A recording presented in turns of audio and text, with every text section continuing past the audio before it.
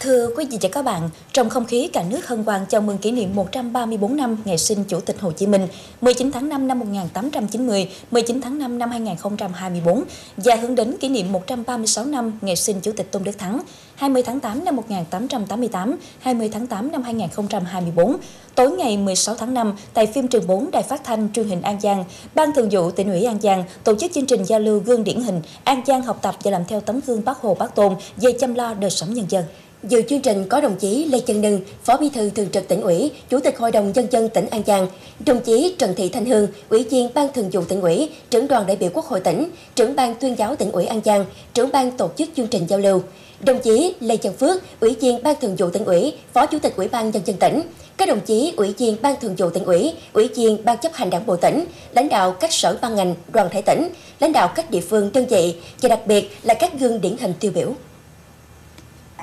Phát biểu trong chương trình giao lưu, đồng chí Trần Thị Thanh Hương, Ủy viên Ban Thường vụ tỉnh ủy, trưởng đoàn đại biểu Quốc hội tỉnh, trưởng ban tuyên giáo tỉnh ủy nhấn mạnh, Chủ tịch Hồ Chí Minh đã để lại cho toàn đảng, toàn dân tộc ta một di sản tư tưởng hết sức quý báu, tấm gương đạo đức và phong cách cách mạng sáng ngời.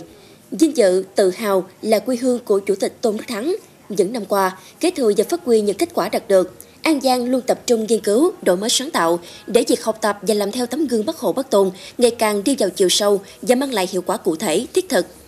Thông qua chuyên đề An Giang học tập và làm theo tấm gương bất Hồ bất Tôn về chăm lo đời sống nhân dân, Ban Thường vụ tỉnh ủy An Giang đã xác định rõ những nội dung đột phá nhằm tạo chuyển biến tích cực, thực chất, rõ nét trong công tác chăm lo đời sống nhân dân trên địa bàn tỉnh.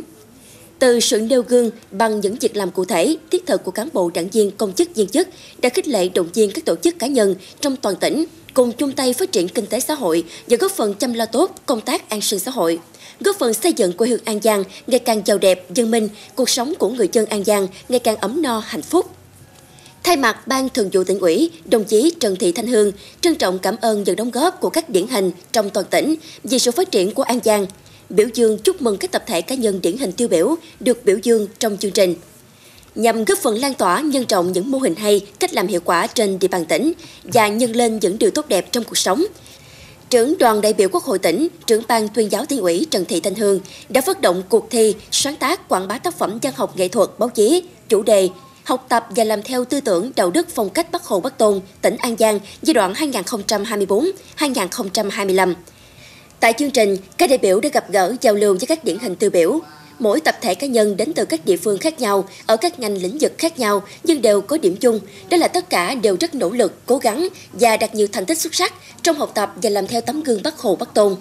Thông qua mỗi điển hình là một câu chuyện đầy ý nghĩa và những việc làm bình dị mà cao quý, những tấm lòng vì nước, vì dân, trọng nghĩa tình, góp phần chia sẻ lan tỏa những thông điệp về lòng nhân ái, tình yêu thương đến với cộng đồng.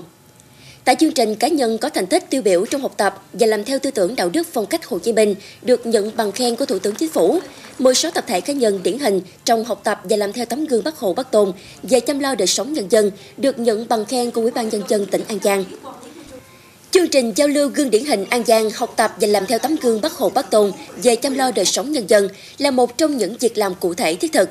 những đối qua tư thắm mà đảng bộ chính quyền và nhân dân An Giang, quê hương Chủ tịch Tôn Đức Thắng, kính dâng lên Chủ tịch Hồ Chí Minh nhân kỷ niệm 134 năm ngày sinh của người. Đảng bộ, chính quyền và nhân dân An Giang sẽ tiếp tục chung sức đồng lòng, vượt qua khó khăn thách thức, hoàn thành thắng lợi mục tiêu, nhiệm vụ đã đề ra, góp phần xây dựng quê hương đất nước ngày càng phát triển đàng hoàng hơn, to đẹp hơn như nguyện ước của Bác Hồ, Bác Tôn.